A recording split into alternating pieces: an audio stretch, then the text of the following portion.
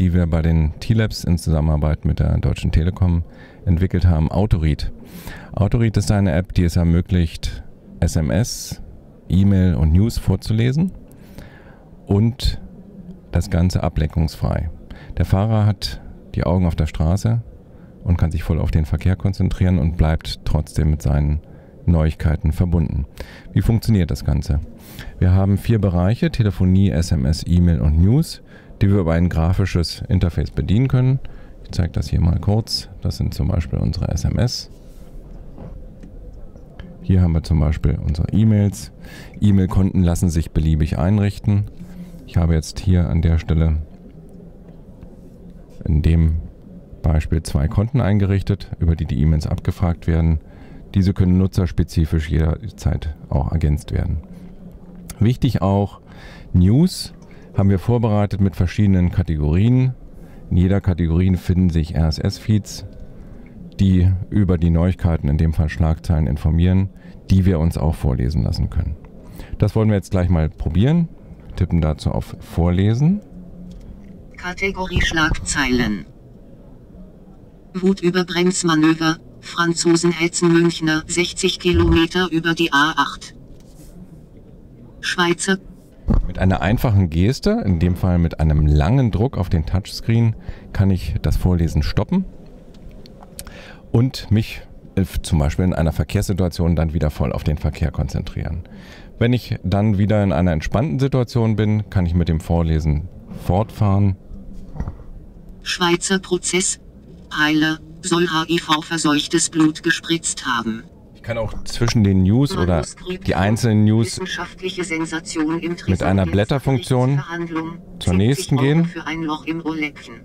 Kriegsverbrecher, Milosevichischer gerückt an Sabins Entscheidungsmarathon. oder zum Hauptmenü. Euro naht der Tag der Abrechnung. Hauptmenü. Das heißt, wir haben eine Reihe von Gesten definiert, die sich der Nutzer in einem Optionsmenü jederzeit wieder vorholen kann und anschauen kann, was kann er in diesem Kontext tun. Das zeigen wir ihm hier im Vorlesemodus, sodass er eigentlich keine Bedienungsanleitung braucht. Er ist mit der App jederzeit quasi im Bilde, wie er sie bedienen kann. Wir haben insgesamt fünf Gesten. Das ist eine Anzahl, die ist noch überschaubar, die ist gut zu lernen. Und mit diesen fünf Gesten kann er sich durch das Vorlesen navigieren. Eine möchte ich äh, noch kurz demonstrieren. Das ist. Die Funktion, wenn wir zum Beispiel SMS uns vorlesen lassen und wir merken, das ist jetzt eine ganz wichtige Nachricht, auf die will ich unbedingt reagieren. Dann ähm, brauchen wir mit dieser App jetzt nicht mehr umständlich in Adressbüchern suchen und nach dem Absender suchen und den anrufen, sondern das passiert folgendermaßen. Wir lassen uns also hier mal in dem Beispiel die SMS vorlesen. SMS.